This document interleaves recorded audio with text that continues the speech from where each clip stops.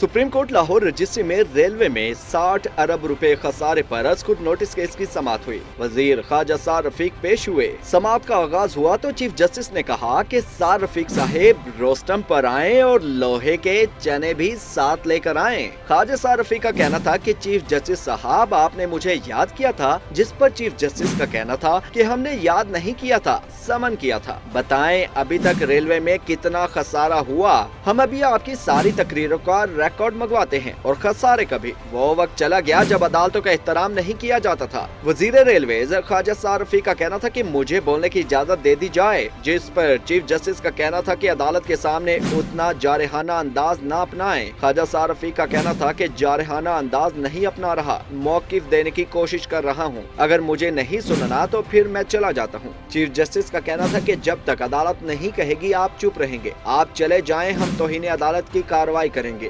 آپ جس نیت سے آئے ہیں، وہ ہم جانتے ہیں۔ خواجہ صارفی کا کہنا تھا کہ ریلوے کا ریونیو پچاس ارب اور خسارہ پینتیس ارب کے قریب ہے۔ ریلوے میں نقصانات کی بہت ساری وجوہات ہیں۔ آپ آڈٹ کروائیں گے تو ہماری کارکردگی سے مطمئن ہو جائیں گے۔ چیف جسٹس کا کہنا تھا کہ پہلی مرتبہ قانون کی بالادستی نظر آ رہی ہے، جس سے لوگوں کو تکلیف ہو رہی ہے۔ اگر آپ اچھا کام کریں گے تو شاباش بھی دیں گے۔ میں خواجہ رفیق شہید کی بہت عزت کرتا ہوں۔ ان کے ساتھ مل کر جہاد کیا، لیکن ان کی اولاد ان کی راہ پر نہیں چلی۔ چلی۔ عدالت نے پاکستان ریلویز کا مکمل آڈٹ کروانے کا حکم دے دیا۔